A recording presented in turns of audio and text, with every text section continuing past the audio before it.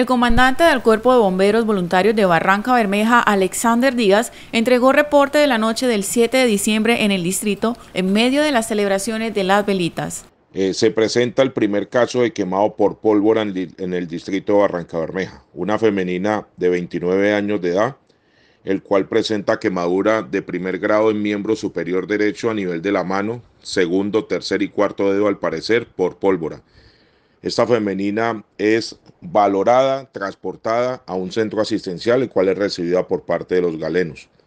Asimismo, en la noche de velita se presentaron varios servicios, uno en el barrio La Paz, donde salen dos personas heridas por arma blanca, eh, son valoradas, atendidas y transportadas a centro asistencial. Asimismo, en la diagonal 60, antes de la primera entrada al barrio La Paz, una persona herida al parecer por producto de un hurto. También en el sitio es valorada, atendida y transportada a un centro asistencial. El cuerpo de bomberos reitera el llamado a las personas a que tengan precaución durante las celebraciones que se realizan de fin de año durante el mes de diciembre.